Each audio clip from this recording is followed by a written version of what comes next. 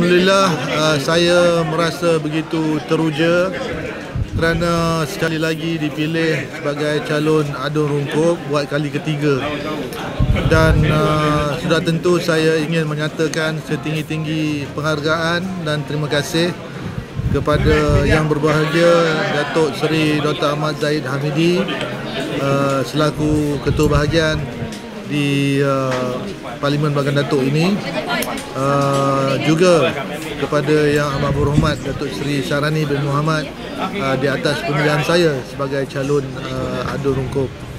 Uh, pemilihan ini dan kepercayaan ini akan saya terjemahkan uh, dengan bekerja sehabis uh, kuat uh, untuk saya memastikan kemenangan di N53 Rungkup.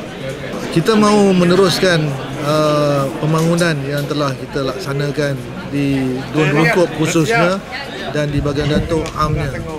Uh, pembangunan uh, telah pun datang ke bahagian Datuk ini sebelum PRU 14 Uh, tetapi kita mahu ianya diteruskan selepas PH membatalkan begitu banyak projek.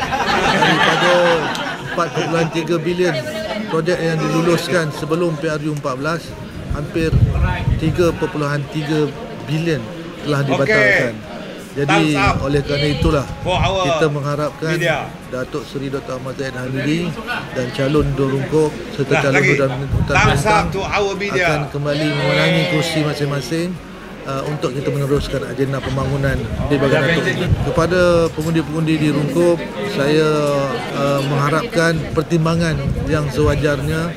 Saya memohon maaf kalau ada kesilapan uh, ataupun uh, kekurangan di masa-masa yang uh, lalu uh, saya sentiasa cuba membuat yang terbaik dan saya akan terus cuba membuat yang terbaik.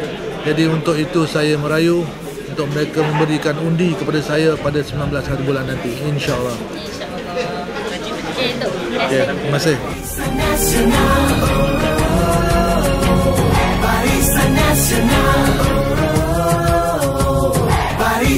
Nacional.